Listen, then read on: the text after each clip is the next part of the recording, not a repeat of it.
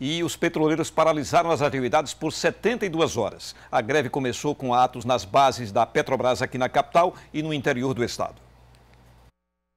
Em Aracaju, um carro de som bloqueou a entrada da unidade na Rua do Acre. Faixas com as reivindicações da categoria foram fixadas nos portões. Na unidade de Carmópolis, a mobilização começou cedo.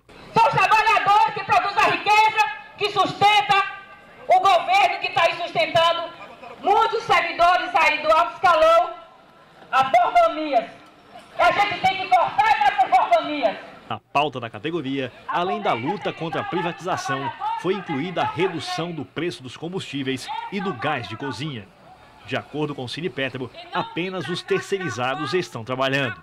Ontem, o Tribunal Superior do Trabalho acatou a ação ajuizada pela Petrobras e a Advocacia Geral da União e considerou o movimento abusivo. Em caso de descumprimento, a multa diária para os sindicatos é de 500 reais por dia.